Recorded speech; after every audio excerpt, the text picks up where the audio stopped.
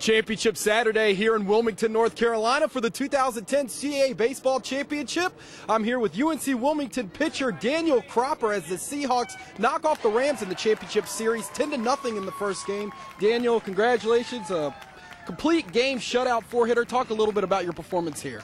Uh, you know, I was just able to keep the ball down, and curveball was working very well, and you know, we just able to bounce around the plate a little bit, and I got a lot of help from my defense, and you know, just all seemed to click and all seemed to work together. Scored some runs early, and that you know, kept me loose and just kept me in the game.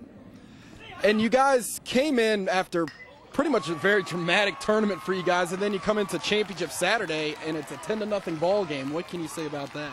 I mean, I just, you know, we won close games, and we've, you know, won games like this, and it's just this club's capable of doing everything, you know, when we put our minds to it, and you can see what happens when you get good pitching and good hitting. You know, you're going to win games, you know, pretty convincingly.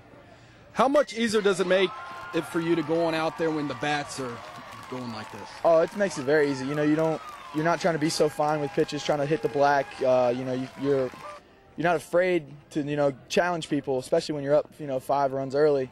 And you know, I was able to just challenge some hitters, and I was able to get ground balls and fly balls, and got a few strikeouts, and just worked out for me. And now the championship game for the title in about 30 minutes away here. More than likely, you're going to have to be a spectator.